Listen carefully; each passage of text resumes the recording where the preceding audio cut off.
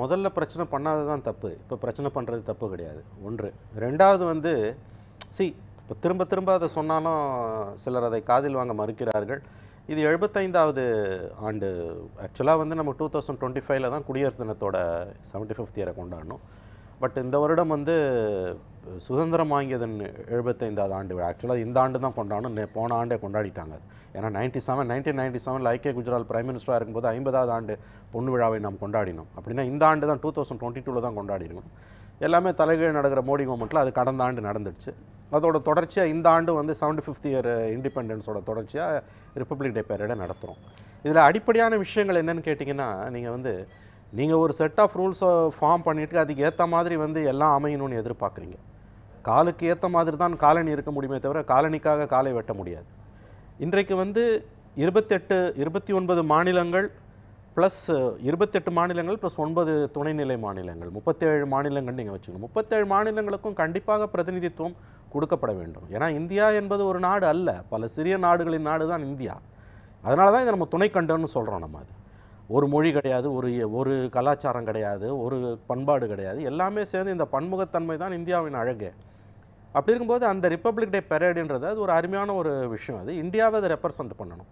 நீங்கள் வேணும்னா வாகனங்களை குறைச்சிக்கிறீங்கன்னா மத்திய அரசோட டிபார்ட்மெண்ட்ஸு இந்திய பாதுகாப்பு படைகளோட வாகனங்கள் அதை வேணால் குறைச்சிக்கலாமே ஒழிய இந்த முப்பத்தேழு மாநிலங்களையும் பிரதிநிதித்துவப்படுத்தக்கூடிய அந்த வாகனங்கள் ஒவ்வொரு மாநிலத்திலிருந்தும் ஒரு மாநில ஒரு வாகனம் அதுவும் குறிப்பாக எழுபத்தைந்தாவது ஆண்டு விழாவை கொண்டாடும் போது கண்டிப்பாக இடம்பெற்றிருக்க வேண்டும். ஏன்னு கேட்டிங்கன்னா வந்து அதுதானே உண்மையான ரெப்ரசன்டேஷனாக இருக்க முடியும். அப்போ அதை வந்து இன்றைக்கி நீங்கள் செய்ய தவறிட்டு அதுக்கிட்ட ஒரு குழுவை அமைச்சுன்றீங்க. அந்த குழுவுக்கும் அரசாங்கத்துக்கும் சம்மந்தம் இல்லைன்றீங்க. பட் அந்த குழு அமைத்தது அரசாங்கம் தான். அந்த குழுக்கும் அரசுக்கும் சம்மந்தம் இல்லைன்னா ஏன் பாதுகாப்புத்துறை அமைச்சர் முதலமைச்சருக்கு கடிதம் எழுதுகிறார்? அப்புறம் இன்றைக்கி டைம்ஸ் ஆஃப் இந்தியா ரிப்போர்ட் தெளிவாக டீட்டெயில்டாக சொல்லியிருக்குது. என்னென்ன காரணங்களுக்காக வந்து நீங்கள் வந்து அது நிராகரிக்கப்பட்டது மூன்று முறை வந்து அது போய் நிராகரிக்கப்பட்டிருக்கு. சி எந்த ஒரு மாநிலமாவது அது ஒரு சிறிய மாநிலமாக இருந்தாலும் கூட அதுக்கு ரெப்ரசன்டேஷன் இல்லைன்னா வேறொரு மாநிலமும் மற்ற மாநிலங்களும் அதை கோரி பெற வேண்டும். ஒரு சிக்கிமுக்கு ரெப்ரசன்டேஷன் இல்லைன்னா அதை தமிழ்நாடு கேட்கணும். ஒரு தமிழ்நாடுக்கு ரெப்ரசன்டேஷன் இல்லைன்னா அதை மகாராஷ்டிரா கேட்கணும். ஒரு கோவாக்கு ரெப்ரசன்டேஷன் இல்லைன்னா அது யூபி கேட்கணும். அதுதான் வந்து இந்தியாவோட ஒருமைப்பாடு.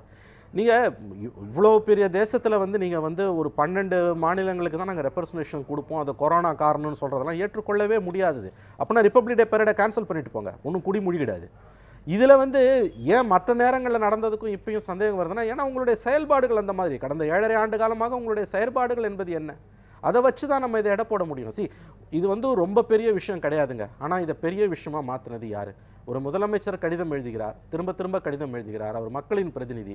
உங்களுக்கு பிடிக்குதோ பிடிக்கலையோ மக்களால் தேர்ந்தெடுக்கப்பட்ட ஒரு அரசு அந்த முதலமைச்சர் கடிதம் எழுதுகிறார். மூன்று முறை வந்து அவங்க சொல்கிற ஸ்பெசிஃபிகேஷன்ஸ்க்கு எல்லாத்தையுமே மாற்றுறாங்க பட் நாங்கள் இறங்கி வர மாட்டோம் இப்படி தான் இருப்போம்னு சொல்லிட்டு சொன்னீங்கன்னா அது வந்து ஒரு அராஜகமான போக்கு. இது வந்து ஷேர் அரகன்ஸ் இது. இது வந்து வ- மத்திய அரசின் இது வந்து ஒரு அந்த ஆணவ போக்கின் வெளிப்பாடு தான் இது. அப்புறம் அப்புறம் சொல்கிறாங்க இது வந்து எங்களுக்கு ஒரு விதத்தில் வந்து மகிழ்ச்சி. தமிழ்நாடு பூரா இந்த ஊர்தியை கொண்டு செல்வதன் மூலமாக வந்து தேசபக்தர்களை பற்றிய விழிப்புணர்வு தமிழ்நாட்டில் வரும்னு. பிரமாதமாக இருக்குது கேட்பதற்கு. ஏன்னா வந்து வெள்ளக்காரனுக்கு மன்னிப்பு கடிதம் எழுதி கொடுத்து வந்தவர்களின் வாரிசுகள் தமிழ்நாட்டுக்கு தேசபக்தியை பற்றி சொல்லுவது விந்தையானது ரொம்பவும் வேடிக்கையானது. யாரும் தமிழ்நாட்டுக்கு தேசபக்தியை சொல்லித்தர தேவையிலே கிடையாது. இருநூறு ஆண்டு கால சுதந்திர போராட்டத்தில் தமிழ்நாட்டின் வரலாறு என்பது அளப்பரியது. அதை யாரும் வந்து எங்களுக்கு சொல்லித்தர தேவையில்லை. ஆகவே இதை வந்து இந்த மாதிரி 54 நாலு வருஷமாக இங்கே வந்து சுதந்திர போராட்டத்தை பற்றின கருத்துக்களே இல்லை இங்கே தேசபக்தி இல்லை. இது இந்த கதையெல்லாம் முதல்ல நிறுத்துங்க. தேசபக்திக்கு யாரும் சொந்தம் சொந்தம் கொண்டாட முடியாது. நூற்றி நாற்பது கோடி மக்களுக்கும் தேசபக்தி இருக்குங்க. இந்தியாவில் இருக்கக்கூடிய எல்லாரும் முப்பத்தேழு மாநிலங்களை சேர்ந்தவர்களும் இந்தியாவின் விடுதலைக்கு அந்தந்த மாநிலங்களிலிருந்து அவரவர்கள் பணியாற்றி இருக்கிறார்கள். இப்போ அவர் ஐநாதன் படித்து காமிச்ச மாதிரி அந்த குழுவில் எத்தகைய லட்சணம் வாய்ந்த மனிதர்களை நீங்கள் போட்டிருக்கிறீங்க பாலகங்காதர திலகர் ஜாமீன் கொடுத்த ஒரு மாபெரும் சுதந்திர போராட்ட தியாகி வ உ சிதம்பரம் பிள்ளை. அவரை பற்றி கேட்கும்போது அவர் சுதந்திர போராட்ட தியாகியா பிஸ்னஸ் மேனான்னு கேட்குறாருன்னா இத்தகைய அறிவு கொழுந்துகளை அந்த கமிட்டியில் வைத்துக்கொண்டு இந்த அரசு எந்த வாகனம் அதில் போக வேண்டும் எந்த மாநிலத்தின் வாகனங்கள் போகக்கூடாது என்று முடிவு செய்வதென்றால் இது எந்த விதத்தில் நியாயம் இதெல்லாம்? குறைஞ்சபட்ச மனசாட்சியோ நியாய தர்மங்களோ இருக்கவங்க கூட இதை ஏற்றுக்க மாட்டாங்க. எல்லாருக்கும் ரெப்ரஸன்டேஷன் கொடுங்க. ஒன்றும் கூடி முழுகிடாது. இல்லை யாருக்கும் கொடுக்காதீங்க. எந்த ஸ்டேட்டுக்கும் கொடுக்காதீங்க. ஏங்க சவுத் இந்தியாவிலேருந்து பிஜேபி ஆளக்கூடிய கர்நாடக மாநிலத்துக்கு மட்டும்தான் ரெப்ரஸன்டேஷன் வரும்னா இது தன்னிச்சையாக நடந்ததுன்னு எல்லாரும் நம்பணுமா? அதாவது உங்களுக்கு அந்த இன்ஹிபிஷன்ஸ் கூட போயிடுச்சு. இமேஜை பற்றி கூட இவர்களுக்கு கவலை கிடையாது. அப்போ இதில் என்ன இருக்குது பேசுகிறதுக்கு இவ்வளோ தூரம் ஓப்பனாக இது நடந்திருக்குது. சாதாரணமாக கடந்து போயிருக்க வேண்டிய ஒரு விஷயத்த இவ்வளோ தூரம் பெருசுப்படுத்தினது யார்? ஒரு மாநிலம் தமிழ்நாடுன்னு கூட நான் சொல்லலைங்க. ஒரு மாநிலம் தான் புறக்கணிக்கப்படுவதாக உணர உணர்கிறது நாம் மத்திய அரசோட முதல் கடமை அந்த அந்த எண்ணத்தை போக்க வேண்டும். அதுதானுங்க நியாயமானது. நான் புறக்கணிக்கப்படுறேன்னு ஒரு குடும்பத்துக்குள்ளேயே தோணுது ஒரு நட்பு வட்டாரத்தில் தோணுதுன்னா நமக்கு மேலே இருக்கக்கூடியவங்க தலைமை பொறுப்பில் இருக்கக்கூடியவங்க குடும்பத்திலேயோ ஒரு ஸ்தாபனங்களையோ அவங்க என்ன செய்வாங்க? உங்களை அரவணைப்பார்கள். மாறா என் இஷ்டத்துக்கு தான் நான் செய்வேன். நான் வந்து பன்னெண்டு வாகனத்தை தான் விடுவேன் வியாகியானம் பேசுகிறது எந்த விதத்தில் நியாயம் நான் தமிழ்நாடுன்னு மட்டும் சொல்லலை. எந்த ஒரு மாநிலமும் புறக்கணிக்கப்படக்கூடாது. குறைந்தபட்சம் எழுபத்தைந்து ஆண்டு சுதந்திர குடியரசு தின விழாவில். பன்னெண்டு மா நீங்கள் ஒன் தேர்ட் ஆஃப் த ஸ்டேட்ஸுக்கு தான் ரெப்ரசன்டேஷன் கொடுக்குறீங்க. முப்பத்தேழு மாநிலங்களில் பன்னிரெண்டு மாநிலங்களின் வாகனங்கள் தான் செல்லு அங்கே வந்து அணிவகுக்கணும் அது எந்த விதத்தில் அது நியாயம்? அது எப்படி இந்தியாவை ரெப்ரசன்ட் பண்ணும்? இந்தியான்றது ஒரு கண்ட்ரி கிடையாது. தயவு செஞ்சு அதை மறந்துடாதீங்க.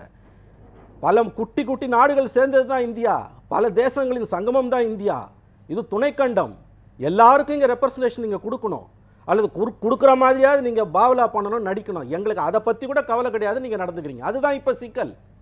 இந்த உணர்வை வளர விடாதீங்கன்றோம். எந்த மாநிலமும் தான் தனிமைப்படுத்தப்படுவதாக ஒதுக்கப்படுவதாக நீங்கள் அந்த எண்ணத்தை உருவாக்கவே செய்யாதீர்கள். மத்திய அரசோட வாகனங்களுக்கும் இப்போ ராணுவத்தோட வாகனங்களுக்கும் அதை பறைசாற்றுவதற்கு மட்டுமே நீங்கள் வாகனங்களை விடுறீங்களே. முப்பத்தேழு வாகனங்களை அணிவகுக்கிறதுல ஒன்றும் குடிமொழி போயிடாது.